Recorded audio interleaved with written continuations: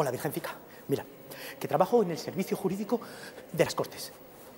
Que no sé si sabes que habían solicitado un informe sobre el proyecto de ley de centros de ocio de alta capacidad. Lo de gran escala. Pues bueno, pues resulta que ese informe pues salió, pues salió negativo, eh, que decían que esa ley podría ser inconstitucional. Bueno, que sus señorías no se quedaron nada contentos. ¿Qué les vamos a hacer? Así que nos encargaron a nosotros un segundo informe.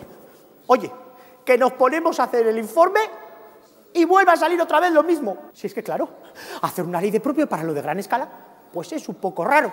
¿Para qué nos vamos a engañar, virgencica?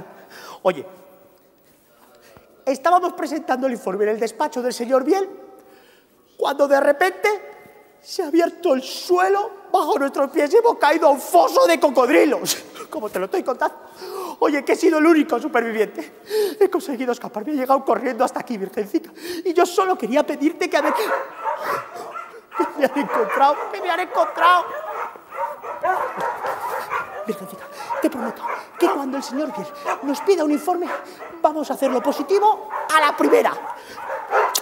Por estas.